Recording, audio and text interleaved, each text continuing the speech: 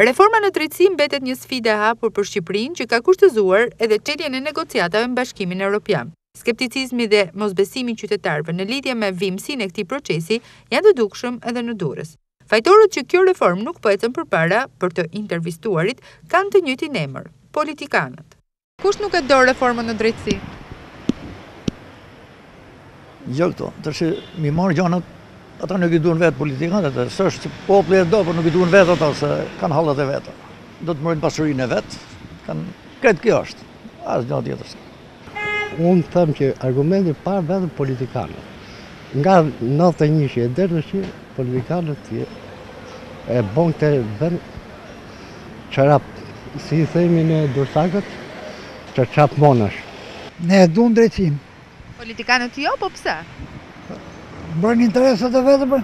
Politikanët po ta duan ta kishin bërë me kohë. Kishte vite ta kishin bërë politikanët. Kush është në politikë?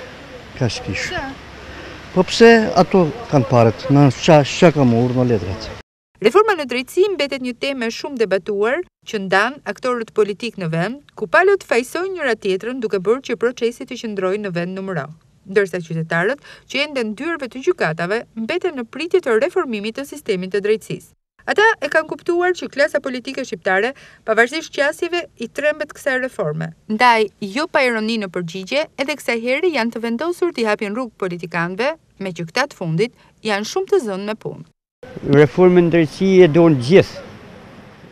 Vetëm ai që nuk ka tru në kokë, ai nuk e do reformën në drejtësi. Edhe unë e du një reformë. Po edhe politikanët e duan? Oh, ata të para, para nesh. Masanej ne të varfrit. Po atëherë pse nuk e kanë bërë akoma?